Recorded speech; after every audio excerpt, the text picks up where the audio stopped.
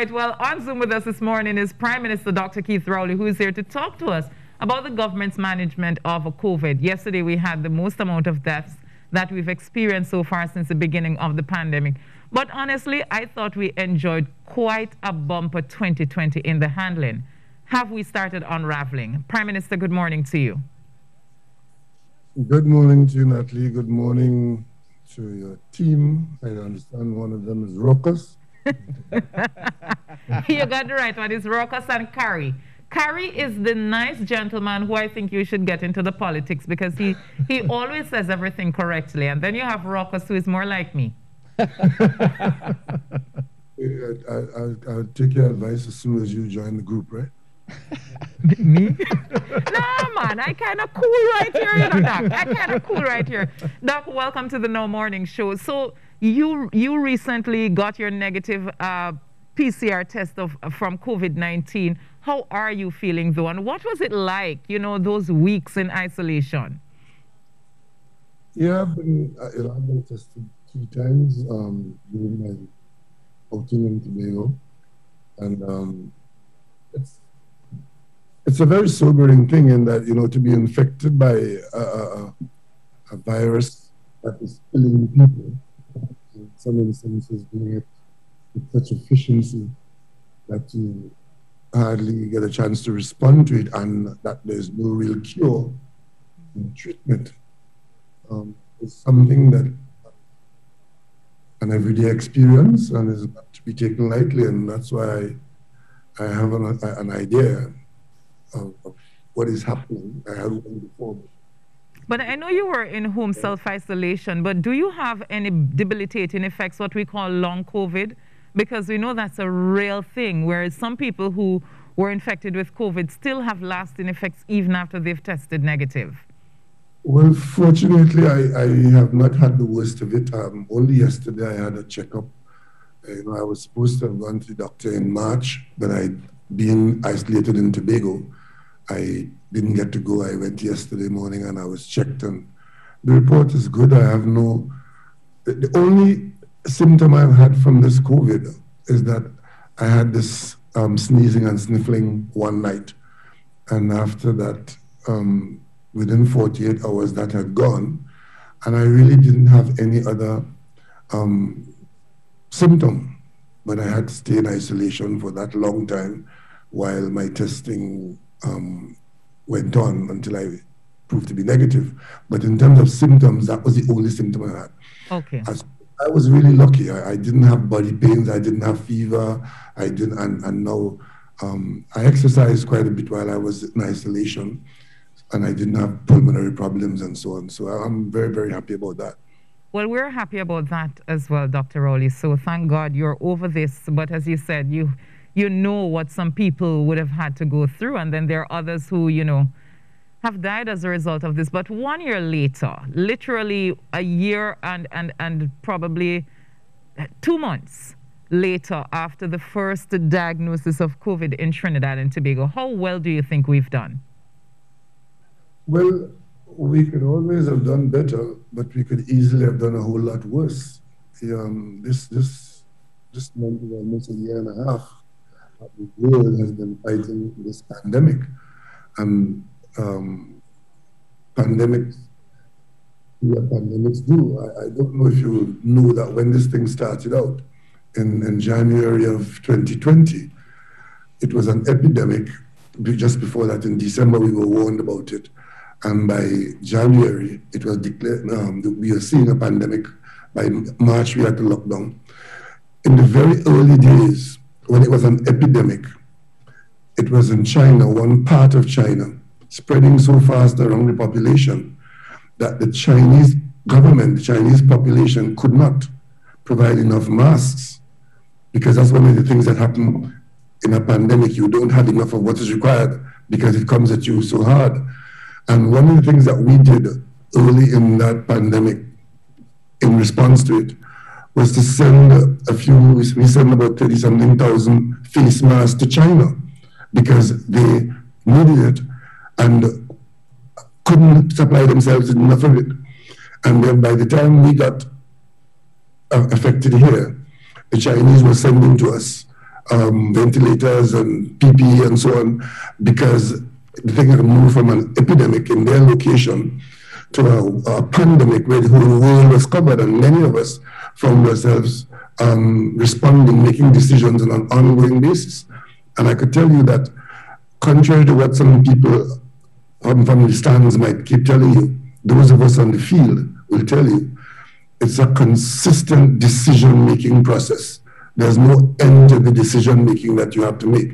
And um, we, as we, we're still learning and getting new information and new instructions a year and a half after this thing has come with us. Right. And unfortunately, we are at the stage now where we are experiencing now what the Italians were experiencing in April of last year and what Europe was experiencing by May, June. And um, it's really um, sobering to be having these reports of these deaths every day. But we're doing um, fairly well in managing it, and we can do more. Hopefully, the results that we're expecting, we're hoping for better results but it could easily have been a whole lot worse with us. Now, Prime Minister, the opposition is on record putting the blame squarely at your feet for the numbers and deaths that we're experiencing now because of your call over the Easter period for people to come to Tobago and Tobagonians to come to Trinidad. Now, I am very mindful of the fact that you did tell people that it's not where you are, it's how you conduct yourself. But the thing is that we are having the numbers, so how do you respond to that? Well, somebody has to be in charge, and unfortunately, I am with my team in the cabinet, and somebody has to blame somebody because the, the, the one thing that is a given is that as things get difficult and challenging, some people's only contribution is to blame somebody. I distinctly recall the opposition leader accusing me of allowing the virus to come into the country. And that was a, a measurement of my failure as prime minister. Now, I really don't spend much time responding to that kind of folly because in a pandemic, it's called a pandemic because it's worldwide. And to try to blame me for allowing the virus to come into the country, to allow it to spread, to allow it to kill this person, you just have nothing useful to tell me and I just ignore you. But do you think that it was irresponsible to make the call, though? I mean, we enjoyed a really relatively calm Christmas season and we seem to have had that spike. Plus, we have the Minister of Works and Transport telling us that over 50,000 people went to Tobago. And we are seeing a spike at this time. Well, 50,000 people did not go to Tobago. That is all part of the national national fabric of lies that are being told. 50,000 people did not go to Tobago. 50,000 people traveled between Trinidad and Tobago. So if 25,000 people were involved, going one way, and then they came back the other way. That is 50,000 people between the two islands. So let's start with 25,000. Secondly, on a normal two weeks and a weekend between, two weekends and a weekend between the three holidays, the normal travel outside of any pandemic and outside of any call from me, there would have been about 15 or 20,000 people going to Tobago. So if, if the figure is 25,000, the additional people who might have gone is about 5,000 people. And many of those that have gone home to their family in Tobago, to their homes in Tobago. So I don't know why we're looking for this excuse. And anybody who's telling you that, you know, I'm too busy to listen to that, you know, because they're deliberately trying to mislead the population. And we in the government spend a lot of time that could be used for other things to be trying to undo the lies and the misrepresentation. That's probably the most difficult part of managing this pandemic.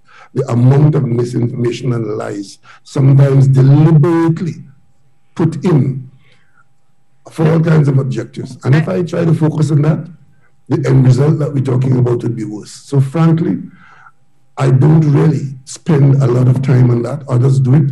But I try to focus on what is, is required so that the people can have the best chance of surviving this onslaught.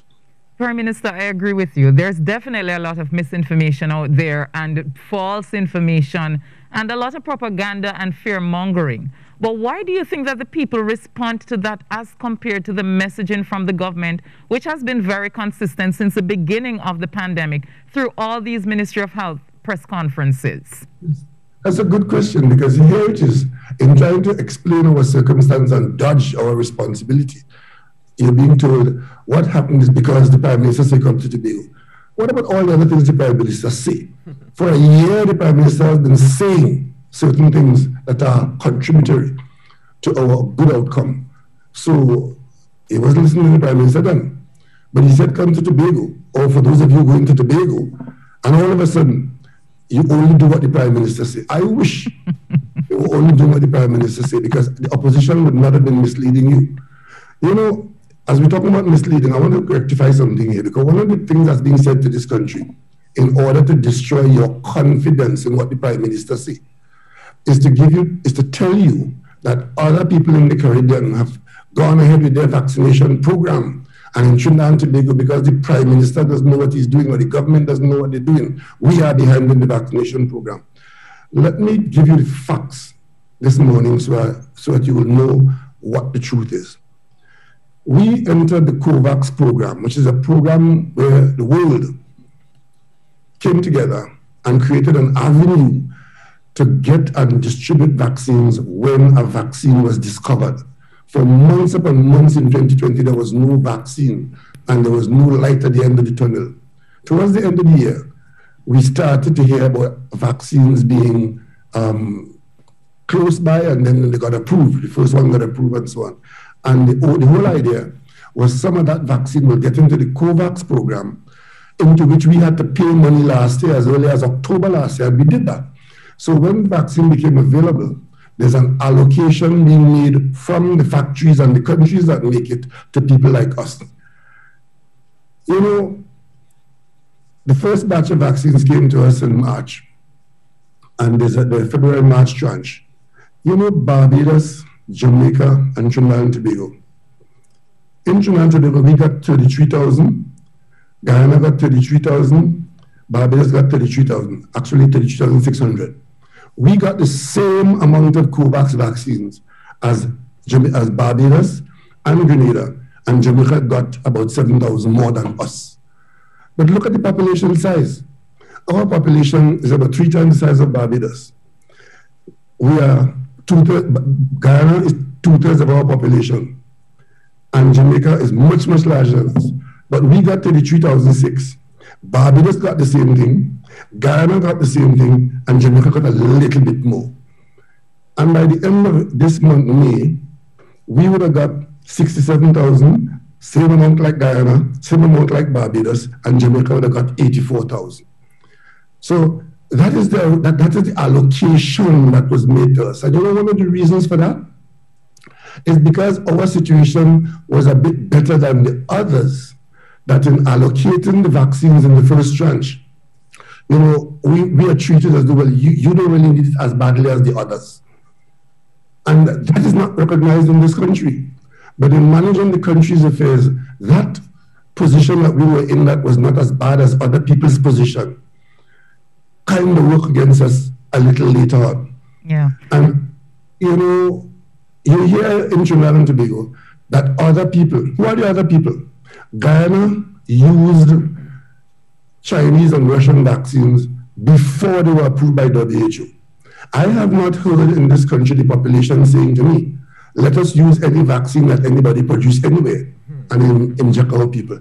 The position this country has taken, which I stand by, is that we will use vaccines as they are approved and certified by WHO. That is our guard, our protection.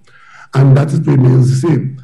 Now, one or two other countries got a small amount of vaccine by way of gift from India, Barbados, Dominican Republic, and Jamaica got some vaccines from South Africa. Those were the only vaccines that came into this region. But you wouldn't hear that from the opponents of this government. You will hear that other people have vaccinated their country and their programs are well ahead of us, and that Trinidad and Tobago. And it's all lies. Because none of us not one of my colleagues in CARICOM has been able to go to the marketplace and buy a single vaccine because it's not available. So all the pages written and the demands of vaccinate the population with what? When the vaccines are available in the international community for us to buy, to obtain, to negotiate, we are there and we are doing as good as anybody else in the region and much better than many people in the world. Last night I was reading about some African countries that have tens of millions of people. and they have not been able to vaccinate as many people as Trinidad and Tobago simply because the vaccines are not available. But oh. hopefully, as the months pass and the production is, is improved and more vaccines are certified and people who were hoarding it are no longer hoarding it, it should become easier and easier for countries like ours to get access to the vaccine, and we are already in that pipeline. Now, Prime Minister, let us talk about this vaccine availability because I think from where I sit and what I've been hearing people say is that yes, we understand that we would be getting vaccine from the COVID from the COVAX facility, but it was also understood from the get-go that the countries would not have been able to get all the supply of vaccines from COVAX, just 20 percent. So I think people were expecting you as leader of the country to go out and get vaccines so that you know, Trinidad and Tobago could be uh, sitting uh, because we've always been told that this did, is the way we out. go out. But out doesn't have any vaccine to supply. We have been talking to the to, to Pfizer, we have been talking to AstraZeneca, we have been talking to Sinopharm producers, but all of these, the authorized suppliers, you going out doesn't mean I'm going to get vaccines.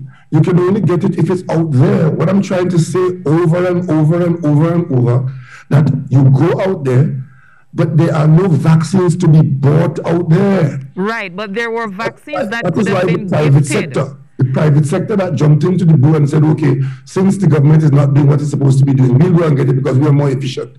They could not find a single one because it's not available. We have been out there. We went to Pfizer as soon as Pfizer was authorized to sell vaccines. You know what they tell us? Sorry, we can't entertain you. They discuss a possible supply for a certain amount at a certain price, but at the end of it, we are contracted to supply to others who have already dominated it. We can't supply. Barbados was in, was in an outbreak like we are in now, and they asked a number of countries that had vaccines yeah. and were accessing vaccines, and only one of them provided Barbados with a few vaccines. The others said, in fact, one country said to Barbados, if we give you, the others will expect and we will not be able to supply, so we sorry we can't give it to you. Mm. This is the, this is the situation.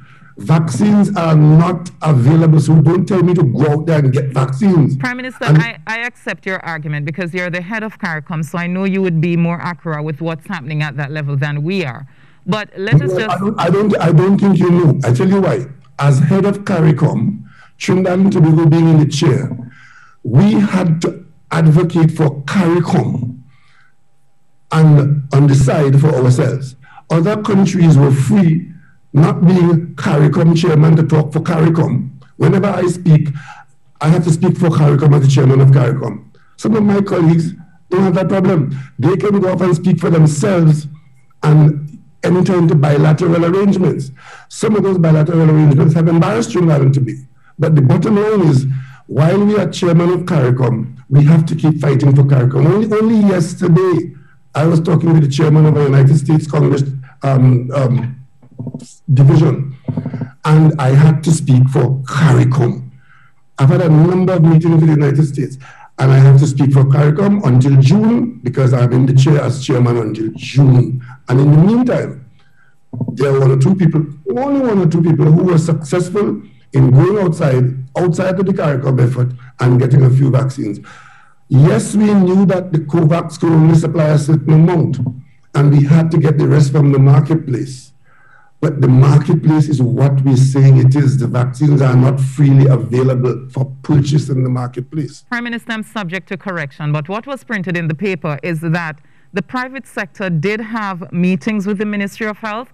An agreement was come to to source vaccines, but the, re the reason why it was pulled back was because the government wasn't willing to give that exemption, that tax exemption, to the uh, private community in exchange for the vaccines. But that was the part of the story. Even if we had given the treasury to the, to the private sector, they didn't have vaccines to buy. So that was a confusion that we could do without. That was in the event that they were going to buy vaccines, these were conditions laid down. But that event was not going to come to pass because vaccines were not available not to us, not to the private sector. I will tell you one thing. As a government talking to the suppliers of vaccines and those who may assist us with vaccines, the government is in a better position to, at this time than any private sector supplier. Right. Well, we heard yesterday, uh, it would not have been yesterday, day before yesterday, from the Ministry of Finance, sorry, that the government is trying to source 1.5 million doses of vaccine. With the availability of vaccine, where is that going to come from? And how much is it going to cost the country? We have looked we looked at a number of areas from the beginning as to where vaccines can be made available. One, we looked at the, the, fact, the companies that are making vaccines, and there are very few and their supply is, is, is, is cornered by bigger countries that either pay more or have more authority with them. We so we entered the COVAX and we paid in and we got we are getting small amounts from the COVAX. Thankfully, we're using that to uh, vaccinate those who are most exposed. Secondly, we are in with the African Medical Supply Platform where they are expecting as a big purchaser whenever they get lucky and get a big purchase that we will be riding um, with them and get some of theirs um, and that is being handled through PAHO. The other one is talking directly to countries that have influence with the suppliers and they are talking to us about sometime in the not too distant future like the United States um, and of course, you know, we did that, um, get some from India. We put an order into purchase from India. And I need not tell you that order now is pretty much useless because there's none to be had there, given the situation in India.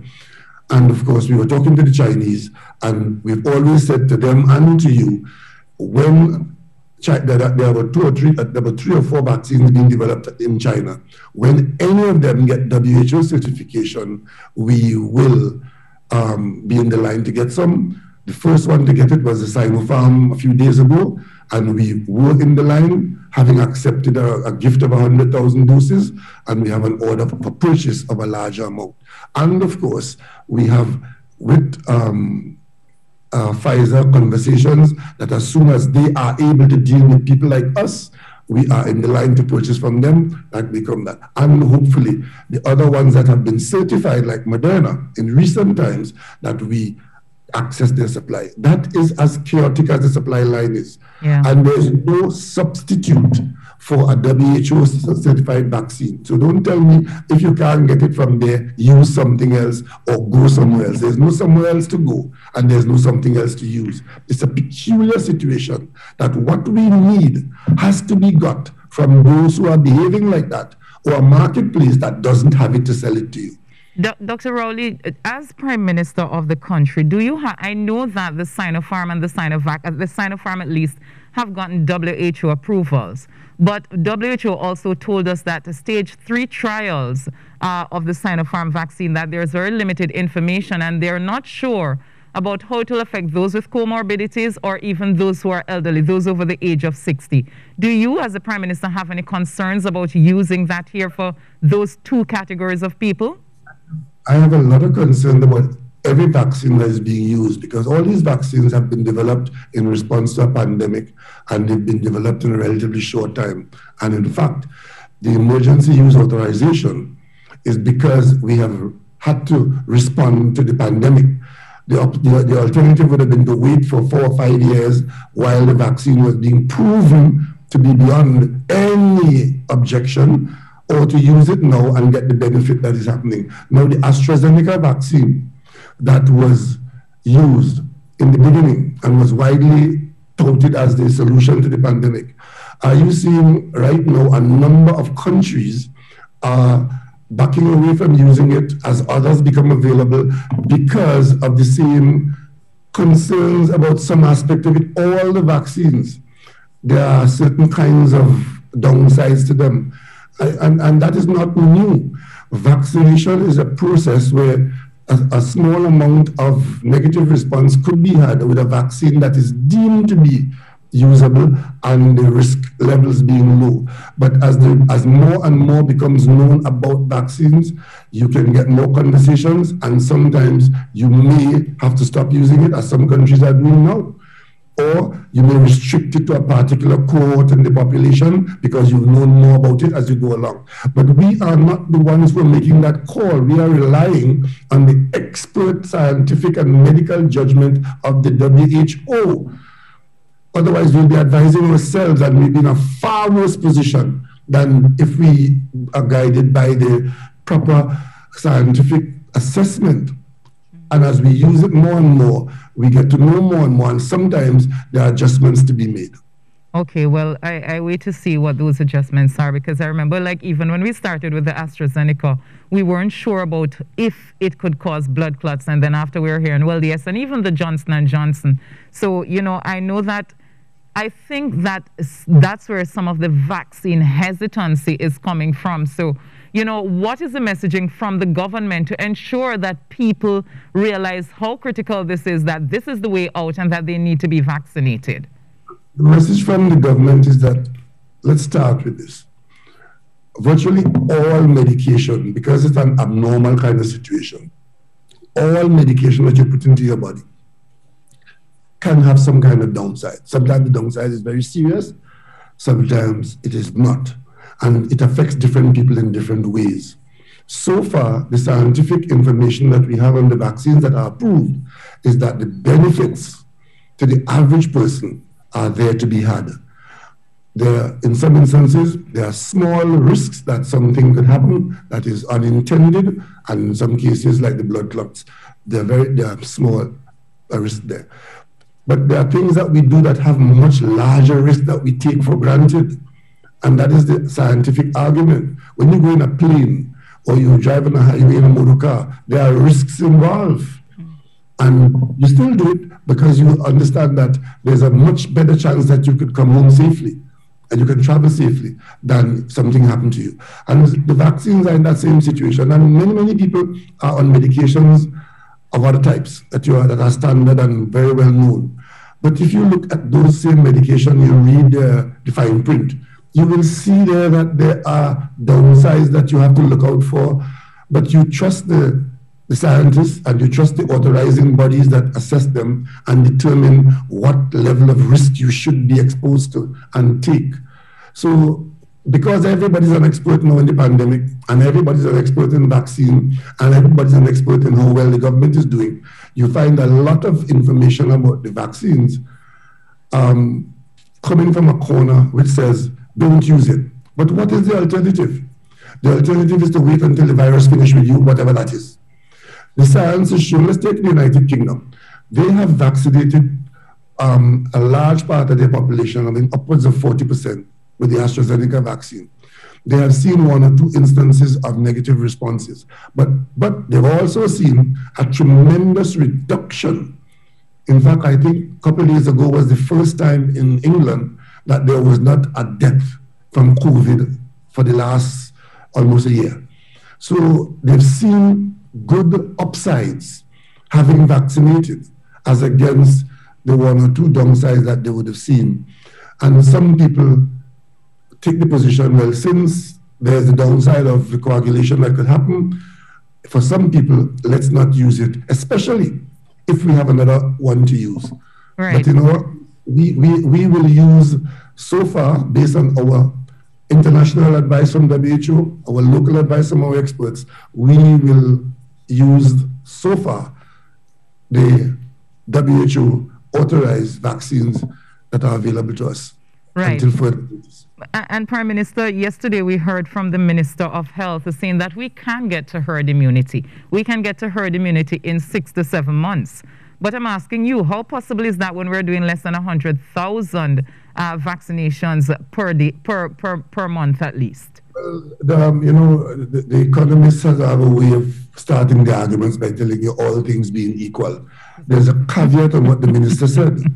Assuming that we get a supply of vaccines in the system I've described earlier, and it appears as though we can have a stream of vaccine coming to us at that rate, all things being equal, we could. But there's another side to it. If we have the vaccines in hand, fortunately getting it from the suppliers, and people are refusing to be injected by the vaccine, we're not going to get to any herd immunity. There are two things you have to have. You have to get the vaccine to use, and you have to get people to agree to use it. So why, why, why do you think that the population is not responding as well as we'd like it to towards the government messaging of vaccinating itself? I don't know that that is so. As, as a matter of fact, we haven't you seen lines of people going to get vaccines and there weren't enough available? So why, why are you hammering that people are not using it? If we had more vaccines available, I'm sure we'd have had more people using it at this point in time. But whether it would have been a 30 or 40 or 50%, at which you come up against a wall where others are saying, I'm not going to use it, we're not there yet. Because as this morbidity is rising in the population, more and more people will be able to see that the alternative is to get vaccinated and reduce the chances of death being the outcome. While the vaccine is not a cure, it allows a population not to end up with such a high morbidity.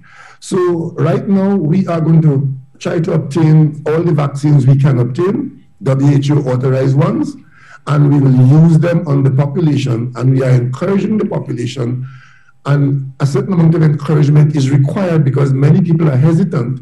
One, because the vaccine is new. Two, because of the conversation about the um, downsides that might happen. But more importantly, we will encourage people to pay attention to the upsides of vaccination. And we believe that a fair amount of our population will go along with that because it's a response to a condition where if you have no response, the outcome is far worse than the possibility of what might happen with the vaccine. Prime Minister, People, we have about seven minutes before we go to a break. And I wanted to take those seven minutes to look at the economics of things because I know that the government always has to deal with balancing lives and livelihoods. But we've definitely taken a hammering when it comes on to livelihood because we've had to have the restrictions, which I understand.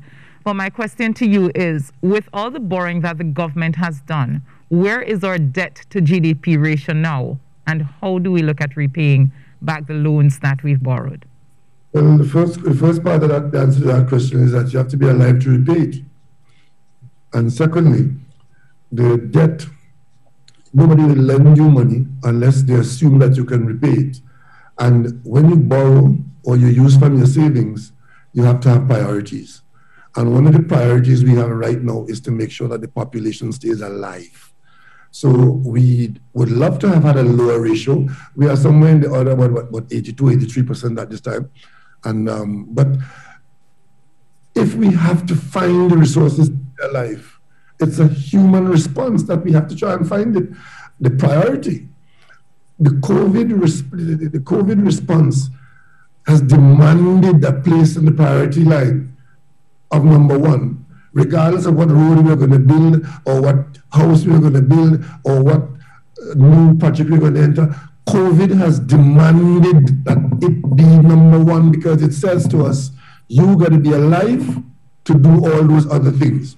And if to, if to get if to stay alive, to preserve lives and con, uh, living conditions, we have to enter a bit more debt. We do that in the expectation that subsequent to COVID, we would be alive, we would be earning, and we would treat our debt as we go forward. Because you, you borrow the money now, you use it to stay alive so that the life that you preserve will pay that debt later on. I want to commend. I want to commend the government, uh, Dr. Rowley, on what it did to try to help those who were displaced by COVID to give salary re relief grants, income grants. But I've still been getting complaints from the business community. Some of them are asking about, you know, VAT refunds that some of them still haven't been paid. So what what can you tell us about that? Well, I think we've done quite well with the VAT refunds. I mean, we, we, we were carrying a large VAT refund debt in response to the COVID situation and to allow greater liquidity to the private sector. We borrowed and put significant amount of monies in the hands of the private sector, and we continue to have um, assistance out there for them. You see, we can focus on what is not being had and ignore what has been had because we did put a number of um, assistance, in fact, one or two of the assistance programs, people couldn't have benefited from it in the way that they ought to have been because they have been under the radar conducting their business in a particular way. And when you ask them to provide certain information to the state so as to accept what the state is putting out, then you discover that they have been living free in the country at everybody else's expense. And now A simple thing like telling me who was working for you so we can help them. That's a problem for some people. And then, of course, that ends up in a conversation about who not getting and who getting. But you, you have not been hearing from anybody who has been getting. You, the whole conversation about who is not getting. And sometimes one of the reasons for not getting is that you don't qualify. But those who qualify, we try to ensure that they get what we make available, and it is not insignificant. These are difficult monies to find because it's a priority that you take money from somewhere else.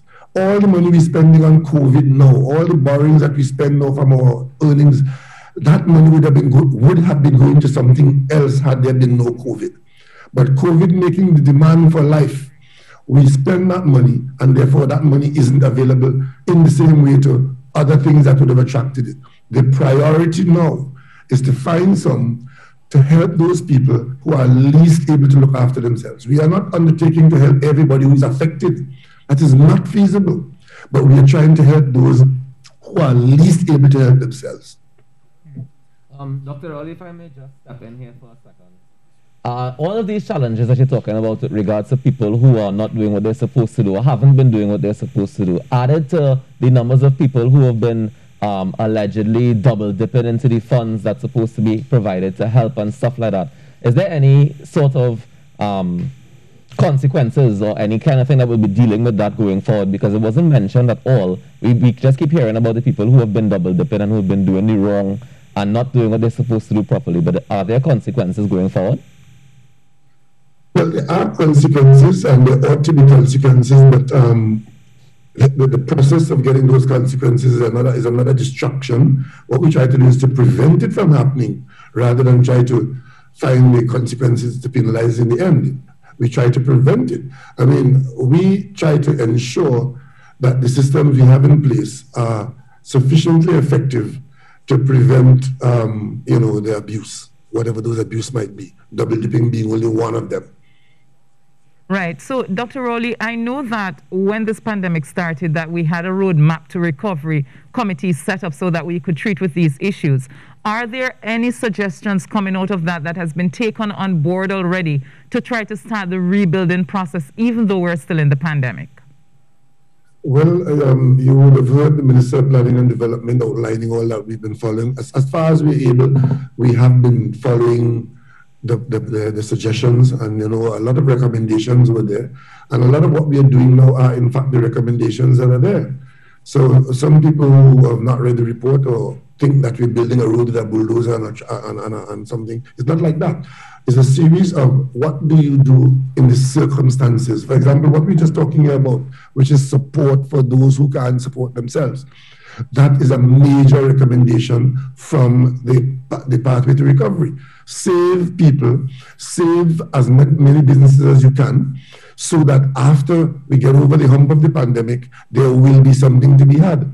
A lot of what we have done with the private sector support system, that is also from the roadmap to recovery, because we, we did not want a collapse of our systems and of our people, so that when the pandemic is finished with us, that we have nothing. So a lot of what you see the government doing, if you go to the report, you will see that those are the recommendations. Right. So the, the, whether and whether it is in the, the energy sector, one of the one of the other areas in that report was about moving forward with shovel-ready projects so that we can maintain um, employment and create economic activity. But that has to be done in the context of the funding for those projects. We have a number of projects out of that roadmap for, roadmap for recovery. And of course, as we enter those projects, they have to be funded along the way. But the shortage of funding is causing a tremendous challenge for us to keep those projects funded in the way that they ought to be funded to continue working. So it's a, it's a, it's a number of hurdles we have to jump at the same time. Right. But we are being guided to a place where we want to be at the end of this, once we get a sufficient number of people vaccinated in the country where the risks are lowered or the effect of the virus on infected people is lowered, that we can continue to strengthen ourselves going forward. Dr. Rowley, I think for me personally, one of the things that the government has done, while I understand it, that has really tugged at my heart, are the people who are still, the Trinbagonian nationals who are still outside the borders. you know, I don't even know how to phrase the question because I'm, I'm, I'm trying to think when or, you know, if there will be any additional, any building out of the, uh, the facilities so that you can bring home more people because there's still a lot of people out there who are, some of them, I, I can tell you personally, are literally suffering. And I know the government had kind of put something in place to help those who are there, but you know how these things are. It doesn't ever reach everybody. How will the government address this situation so that it can be, have a more empathetic approach? Well, we have brought home a significant number of people, much, much more than the ones who were just caught out there when we closed the border. Well, and I, I shouldn't even say close the border. We have been managing people over the border. The border has been put up, and we've been managing people over it. And we were just about to begin to consider opening up a bit more because people were being vaccinated in North America in a, in, a, in, a, in a, major way. And we here had begun to vaccinate, and we could have been able to bring more people in. We have brought in as many people as we could manage in the context of the quarantine system being an integral part of our response. If we had taken, or if we take the position to get away from that, by virtue of allowing people to come in free sheet, then the absence of an effective quarantine system would, uh, would, would destroy our response to the virus. I agree with you, but any plans to build out the quarantine facilities more to add more places so that more of na more nationals can come home? We've done as much as we could do on that, and we keep adding. As you, as if you if you listen to the report that we've got, we keep making more and more space. But as we as, as we bring more nationals home, we have it on our hand to manage, and we have done. It's a year. We've been doing this since April, and I can tell you, all the people who were caught outside with the closure of the border, even though the notice was short, those people have been brought home. A lot of people who have been going back and forth in a system where you have to get permission to come back. There are, there are some of the complainers too. And of course, people who live outside but who want to come into Trinidad and Tobago at this time, we're saying to them, we will, you will come in, but at a rate which allows us to also manage our circumstances at home. And that, that's, an, that's an ongoing process. Prime Minister, we're almost up to the news, but one question. We're skipping the news? Yeah, oh, the news. sorry. I thought they said that we weren't taking any break and just going. All right, Prime Minister, we're going straight with you. They've, they've, they've skipped the news because you're the Prime Minister. Exactly. so, but this for me is a personal experience, and, and I'll share it with you because I just remember just being in, in, in such a quandary. Last year, I had to get tested for COVID because my workplace had a positive case and they thought I was a primary contact as a dialysis patient, Dr. Rowley, time is important. You know, my dialysis schedule, like most people who are on dialysis, it's three times a week. And I did a test the Thursday night, and to this day, I have not gotten those results. I had to go and do a test the Friday after I'd had dialysis, the Monday. And if I did not get your goodly intervention, I don't even know if I would have gotten those results. I think there's a serious issue to be addressed, especially for dialysis patients, because we had an outbreak in my uh, dialysis center the other day, and people be sitting days waiting for test results. So I don't know if this is something you could address because it is something that needs to be addressed in a critical way. I don't know that this is something for me to address. This, this will always remain something for the medical operational side of things. I'm sorry to hear what have happened to you.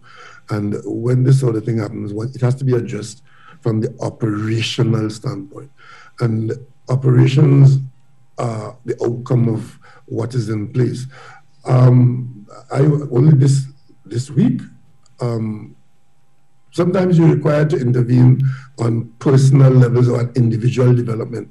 There was a gentleman in Tobago who had a port problem, a, di- a dialysis patient. Yeah. And had to have his, his, his port had a problem that required expert attention, which wasn't available in Tobago. And it was, it had to, you know, the, the individual case um, is something that we are concerned about. But in terms of dealing with the overall problem, from where I am and where the Ministry of Health is, what we have, we have to have systems in place where those individual problems don't occur. And that's what I'm saying. That's what I'm suggesting to you, Dr. Rowley. From experience, that system is not in place to say, okay, if it's a dialysis patient, let's expedite that PCR test. Let's get the results because our, our treatment is time sensitive and we don't have that in place at all. Well, I'm not sure that you're correct. It may not be in, in the way, but, but again, let me not go down that road because I really don't know the operational side of things. For example, a dialysis patient and a patient going into surgery will be treated differently in the test. And that, there's a priority there. So, so, maybe I don't know what happened in your particular case or on that particular day or in the particular week, but sometimes the developments of that day or the week could have caused that outcome. But I'm sure that the, the operator, the, those who are operating the systems would have heard your plea and the empathy that you're talking about and the prioritization, that is an integral part and should form an integral part of their operations. Well, and I do that such a thing exists. Well, as I said, my personal experience has not shown me that. I hope, I really hope that it exists because, you know, as I said, we saw some patients the other day and it was the same thing that I went through. Sorry? Is it, is it every time you go for dialysis that happens? No, what I'm saying is that I had to get tested for COVID, but there was no expediting my test results so that I could get dialysis. And the thing is, my dialysis is put on hold until they know my results, and there's no expediting of the results. That was but the issue. I, am I'm, I'm sure that um, those who are hearing your, your, your, your, your complaint now would, would give, it, give it some kind of a attention to ensure that the prioritization that is required takes place. But I do know that there's some prioritizing that takes place in the system to afford certain kinds of patients and certain kinds of situations to, to jump ahead of the queue. Well, I hope so. Dr. Rowley, it's almost time for us to take those calls. But one of the questions we, that we got already from Facebook is how does the government determine essential services? Because we had the trade union saying they're not essential, they were last year. And we have people saying that uh, NLCB is essential services. So, what goes into determining who is essential? And why is NLCB essential? Well, NLCB is a, is a revenue earner for the government. And if we shut down NLCB, it is like shutting down one of the things we need to respond to the to COVID. We have to fund COVID um, situations. And if the government shuts down all its revenue streams, then you become helpless. So these are some of the considerations that you have. And it is, when you ask me what is essential, um, we try to identify those things that keep the body and soul together, keep the economy going, keep your life going. For, for example, the, the economic aspect of what happens in the energy sector, whether we like it or not, we have to keep doing that for earnings. The manufacturing sector, as far as we are able to, we keep our, our plants open to manufacture because that's where we get our earnings.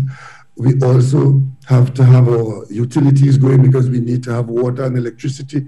We have to have security. We have to have our hospitals operating. So those are the kinds of things that are essential. The hmm. other things that we're saying that we can, for a little while, do without, then we ask that you forego that largely not that we forego, we want to give up that for the sake of giving it up. But we want the people involved in those things to literally stay calm and stay away from the crowds so as to give the virus little chance of spreading. That, that's, how, that's how you go about it. All right. Well, well, I appreciate that. And I think the people who are listening and whomever sent the question, hopefully he or she has a better understanding of the thought processes, you know, that go into determining what's essential and what isn't. But Dr. Rowley, are you ready for those calls? Sure. 622-4010, that's the number to call. The Prime Minister is making himself available to your questions. I'm going to ask you to be as brief as possible. There are many of you, and if it, well, I would hope that the technical people will be quick on the draw this morning so that if there's anything coming across that's unacceptable, they'll catch it before it even gets to us. So 622 4010. That's the number to call. The Prime Minister is here to take your questions and let us talk. Arima, good morning to you. Hi, good morning. Yes, Hello. go ahead. Yes, good morning, Dr. Rowley. Um, Dr. Mm-hmm. Rowley, um, a question I wanted to ask, do we have any scientists in Trinidad and Tobago? Lots. Thank you, caller. 622-4010. That's the number to call. 622 4010. We're talking to Dr. Rowley. Just really was focusing on the management of COVID from the government's side and then the personal responsibility. Where are you all? Because I think that's why we have spread. Yep. Because the public health regulations are in place the the, so the, the, the relief the, the, is on the line as well. I heard him, but I can't finish my point. you know, the relief systems are in place. Right. You know, there are so many things that are in place. So what exactly is causing the spread of COVID? It has to be because we're playing the fool. Agreed. Pleasantville, good morning. Morning to you, Pleasantville. Morning, Natalee, and morning to the Prime Minister. Um, Mr. Prime Minister, what I'm what I'm asking is, given the fact that the, the, the leader of the opposition, not, not bringing politics in this right now, but we should know, she she she has reached out to the media to have a meeting with you. Will you entertain such a meeting in a setting where, in a news conference setting where you all can both take questions from the media? Because one of the things we are seeing is that she is not making herself available to questions from the media um, on, on many issues. So, will you entertain meeting her, um, reaching out to her, as opposed to her reaching out to you through the uh, her Monday night forums and stuff like that? Thank you. Thank you, Kola. The, the, the, um, I have a job to do, and the opposition leader has a job to do. So I don't know what meeting with her is going to do. I've got the advice. She, she last the last advice I got from her on the Monday night forum is to go to hell. I have no intention of going there. I um, spend my time trying to keep the people of, of Trinidad and Tobago whole and to make the decisions that I have to make as head of a cabinet and a cabinet and um, team of nationals who are taking this thing seriously. You don't Those think the opposition is taking the pandemic seriously, Dr. Rowley? You don't think the opposition is taking the pandemic seriously? No. Um, all I, all I see from the opposition is an attempt to find opportunities to score political points. And they, they, they are the source of a lot of misinformation deliberately put out there, which has the effect of making the job far more difficult because as people are fed misinformation, they behave in a particular way, and it's difficult for them. For example, I mean, how irresponsible can you get to tell to be telling people um, that they are the guinea pig for a vaccine that we had been longing and hoping to arrive. And uh, what am I sitting on to talk to you about on that? You're asking what, what, what size of guinea pig, what breed of guinea pig? I mean, we, we need to focus seriously on this pandemic. And just think about the prime minister responsible for the vaccine, for the um, for the not, vaccines not being had, and the prime minister responsible for somebody getting sick. I mean, the, the behavior of the opposition in Trinidad and Tobago is scandalous just outright scandalous. Right, I, talk to, I talk to my colleagues around the region, and there's nowhere in the Caribbean, in CARICOM, where the government is trying to cope with the, with the, the, the COVID. And there are people literally trying to undermine the effort as part of the politics. And I don't know that there's anything to be had. I every Monday night, every Thursday, every Wednesday is the same thing we've been told. And as a matter of fact, if I may ask you, which of the recommendations that came publicly to the government from the opposition that the government has ignored. They, are, they have all been recommendations to get us in trouble. Don't close the bars. Don't close the border. They don't take COVID seriously. It's killed by sunlight. Build a dome over the country. Don't um, give, give, give as much money as you could with no, with no. I mean, what, what exactly has the opposition put to the government that we have ignored? We listen to everybody in this country and we try to take a pathway that is sensible and useful. As I, as, I mean, I sat down with the opposition early, as they demanded them to meet with the government. I sat down with them in Parliament. The only thing that came to the table from the opposition is a stock up on hydroxychloroquine to treat COVID. When the WHO was saying to the world, don't do that. So if there, if there are useful suggestions coming from any quarter in this country, the government's ears are always open. I could tell you, I try to listen to everything that's going on in this country because having to make decisions for the people of this country, I want to be informed. But there are people who take the position that their objective, if you, I just, I just told you what their position is saying to the country about the government's inability to vaccinate the country. That's not helping us. Because if the people, know, if their, their job is to make you lose confidence in the government. And the amount of lies we have to deal with on an ongoing basis, every day, every day, every day is a new lie. Because, I mean, look at what happened with the parliament. They wouldn't come to the parliament because the prime minister was, we had COVID and he infected the parliament. They could not be serious. Whenever, you know, whenever they make their serious positions, we don't dismiss it. But so far, I could tell you, you cannot point out to me any serious suggestion that came from the opposition that the government has ignored and said, had we done that? I mean, look at this whole thing. All that we're doing now is because of the Prime Minister say come to Tobago. What foolishness.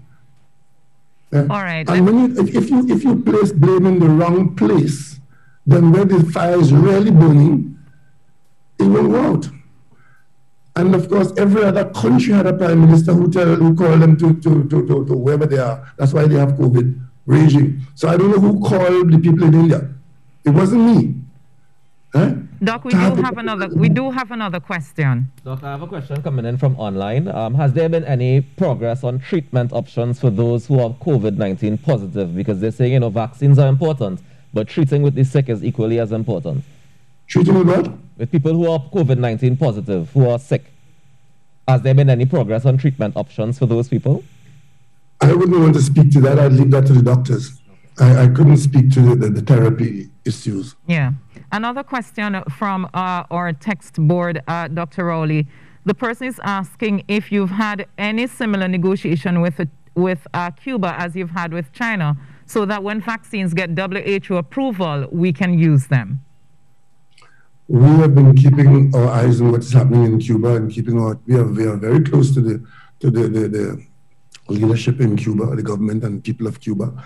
And as soon as they get WHO, as it was in China, um, we would be in line there to use it. And we will use it once it gets the requisite approval. Um, I've seen a, a, lot of misinformation circulating about Cuban vaccines that have been approved, but that is not true there, there's no Cuban vaccine today which has been um, assessed and, and, and cleared by WHO. And that is one of the restrictions we have. No, I think the person is asking if you're in communication so that when it gets to that point, if it gets to that point, that That's you'll be in line. Yes. Trinidad and Tobago will be in line to get some. Yes, I, I mean, the, the, the, only place that we have not been um, directly looking at the, the, the Sputnik, I don't know that um, we have our people have looked at that, but all the other possible vaccine suppliers are kept under review by us, and we are in contact. And uh, but those contacts have not um, been useful outside of what we've had so far. Right. All right. Well, this person says the opposition leader is too deceitful. She wants to unite to fight COVID, but to Dr. Moonilal telling people not to take the vaccine. Stoops.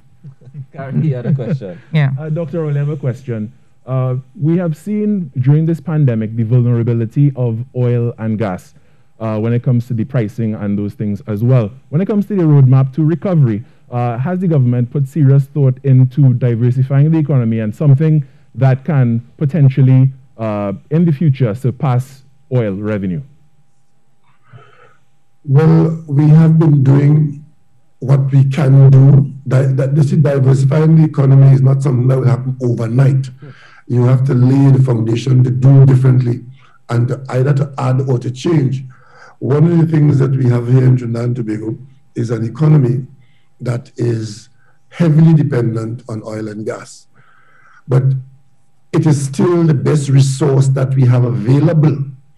So we do other things. We, we look to see whether um, we can produce more of our own food so that we don't have to import it we look to see whether we can, um, we are now engaging in going into the area of renewables and energy production, um, electricity production in the country.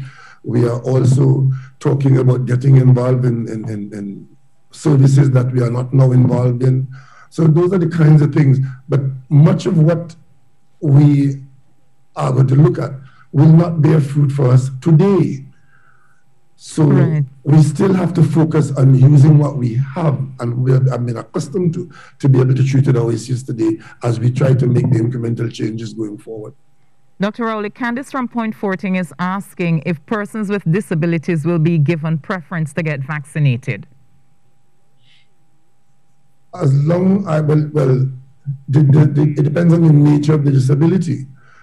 But as we have more and more vaccines, everybody in all categories would, would get vaccinated. But initially, if you have a disability of which, which can be classified as a comorbidity, yes, you can be vaccinated immediately.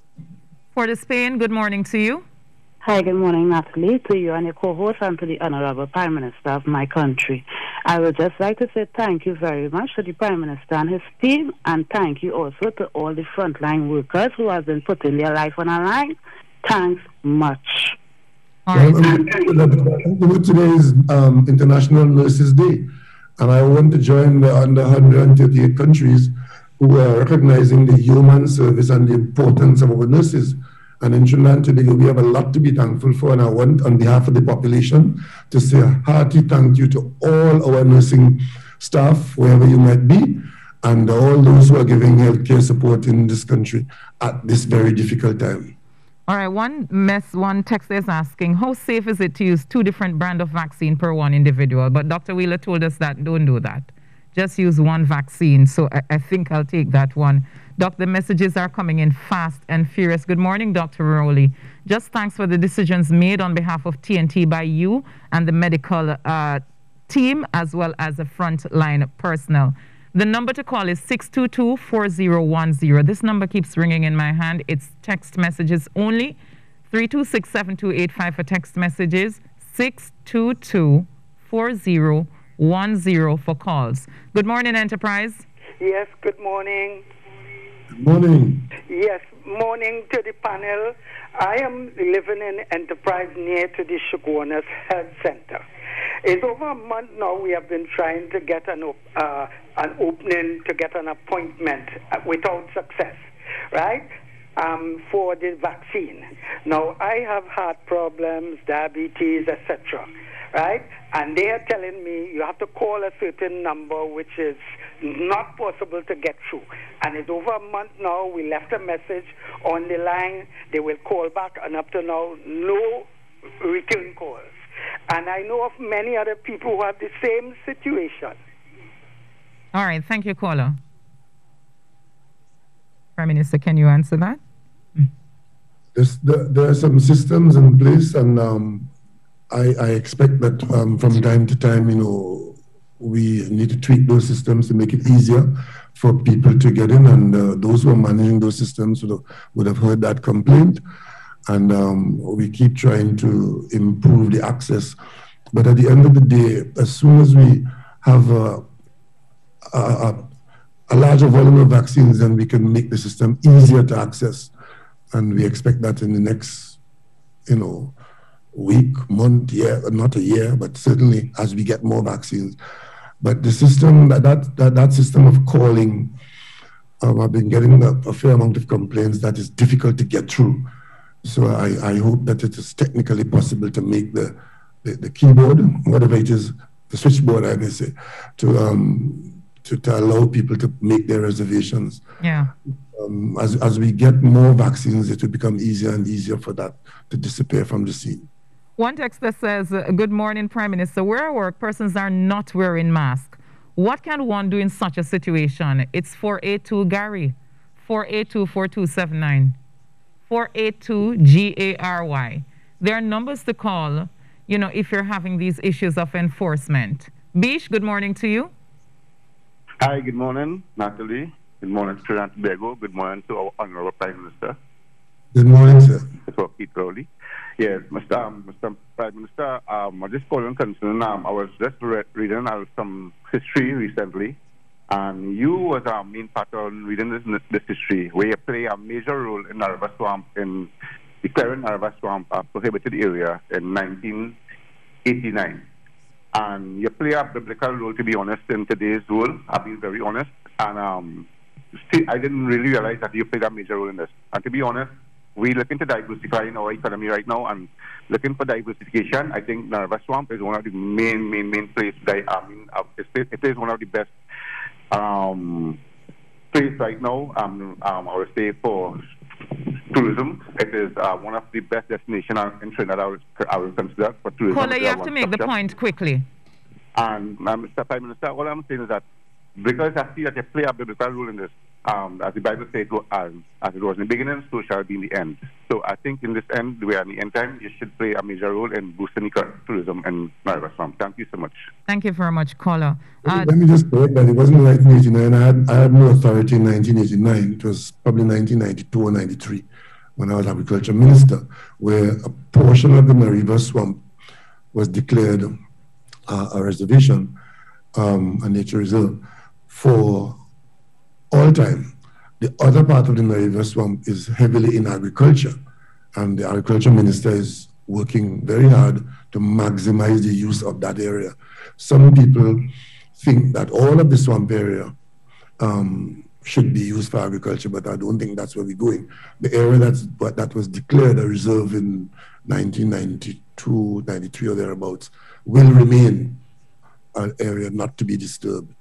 All right, Doc, we, we, we have just about four minutes left before we allow you to go ahead and give your Eid greetings. So we just want to try to get through some of these messages.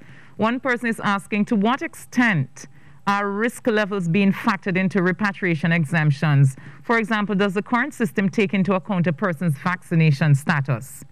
Because she said the online form doesn't capture this. Uh, from San Fernando is asking.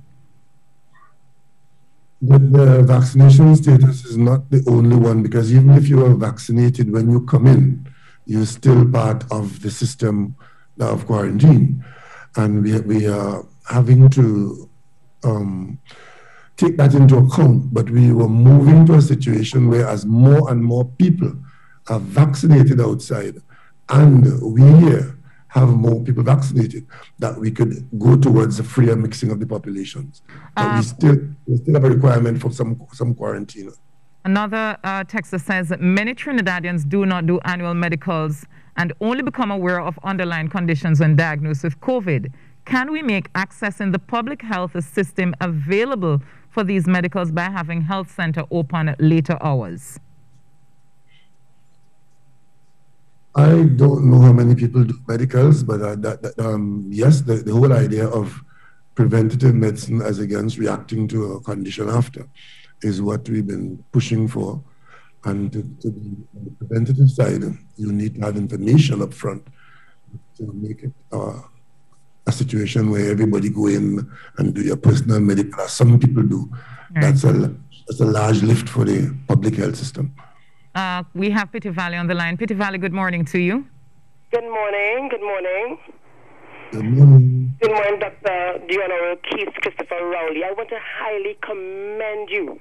You are the best leader for this time to help our country fight the pandemic. Speaking on the line here is Councillor Janelle Shuler, Smart from Alice District. You, I have, I have been following your your leadership, and and this has been the best the Caribbean, the, the world could look at to emulate as, as, as, as a leader. I have been looking, though, at the child guidance unit. They have been quite short staffed. And there is a need just to plug in one or two more social workers to keep that seamless um, counseling practice being done with the young people of Trinidad and Tobago. So I want to just plug that in, um, Dr. Keith Rowley, and to continue to commend you for the excellent work because I know that you have a lot more work to, to be um, to be executed, and I trust that all will be well. And be safe with you, you and your family. All right. Thank you very much, caller. Uh, Dr. Rowley, one person says, I don't know if this is true, that the the COVID is out of control and they're putting tents and beds outside the Couva Hospital because it's filled to capacity. Are you aware of this? It is not out of control. What we are doing um, is to expand the capacity to respond in the event that we require more beds. Actually, um, what is happening at Couva there, um, we're getting some help from the Americans with two field hospitals, one of which is um, at Couva um, a temporary hospital space. We that's one of the responses that if we are getting more people infected and there's a demand for more bed space, a field hospital is what you use to increase your bed space in the short term. So that is not that is out of control. it is a response to what is happening as we experience a higher level of infection and a higher level of demand for bed care, for bed space. Okay, well, this texter says, a blessed morning, good morning, Dr. Rowley. Sir, you and your team have done the best that you could have done. Congrats. Keep up the good work. Annette from San Fernando. You are annoying some people with that this morning, you know, because a lot of people have the opposite view. well, uh, this text is saying that a rigid vaccination, I, I don't think it should be drive, it should be messaging, should be done by the government and Ministry of Health so as to overpower those who set out to dissuade the population from receiving their vaccines. And morning, I work as a clerk in a school. I am going out to work every other day. Can you ask the PM if I am an essential? They have other workers coming out every day. What category of worker is that? Uh, a clerk in a school.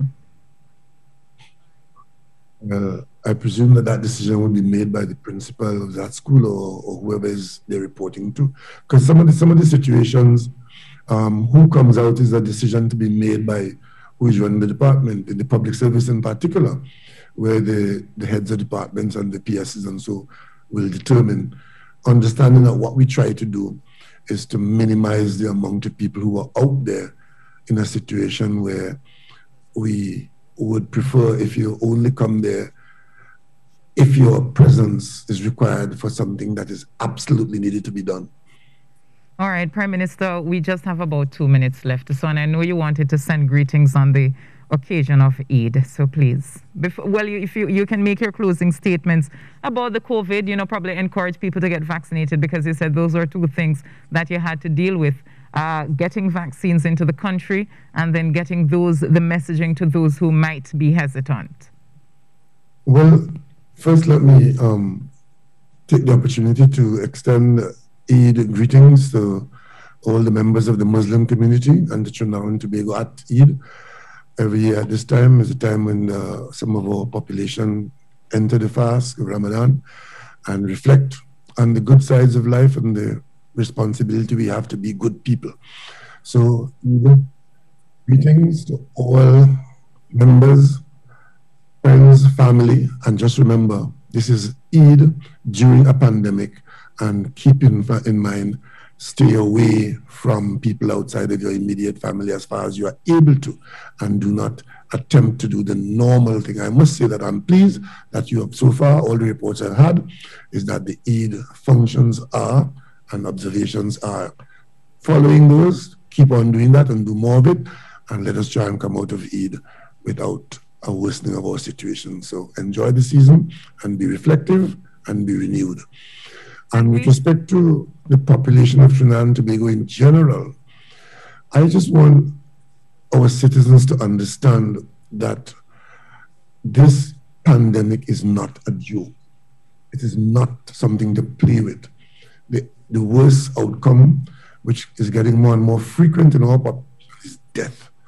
And in many instances, we are seeing now where that death is taking place within families in a situation that is quite tragic, more than one person. One person is too much in a family. Take it seriously. The things that have to be done, we've told that, told that to you over and over and over and over. And each one of us, if we do those things, we will not only protect ourselves, but we'll protect other people. Because those who are being infected are being infected by other people. And if you are infectious, you will infect other people. So we are all interconnected and it is not a respecter of race, creed, religion, class, political persuasion, or geography. You would have seen that is all over the country is exposed, and all the people are exposed. And now more than ever, we have to be careful because we're seeing more and more young people fall into it. When initially it was being said that it was the older people who had comorbidities, now we can virtually say it's everybody. Thankfully, there's hope on the horizon. We've started the vaccination program treat the vaccines as a response where there are benefits to be had. If you have good reason not to be vaccinated, that is understandable. The good reason being that you have medical conditions where the, the level of risk is too high, as told to you by your expert doctors. But the average citizen should take the opportunity to get vaccinated and give yourself that better chance to come out of a pandemic alive and well. That is our best chance. And we, at the level of the government, we are doing everything possible to get an adequate supply of vaccines. And we expect that our situation will improve in the days and weeks ahead. There's a lot of uh, hesitancy in some quarter, and there are a lot of attempts to destroy your confidence in what you might be doing or what we are doing. I ask you to stay the course. We are ensuring that the best response from Trinidad and Tobago is the response that the government of Trinidad and Tobago will pursue. So let us do that together and try and come out of it alive together. Prime Minister, I want to thank you so much for joining us here on the NOW Morning Show on TTT. We definitely appreciate you. And I think after that very comprehensive report on what the government has done and is doing, we should all be better off for it and have a better understanding of where we're going in treating with this pandemic. So thank you. Thank you very much for having me. Dr. Keith Rowley there speaking with us about the government's management of the pandemic. And as he said, we all have to do our part now because the government is doing everything that it can to help to safeguard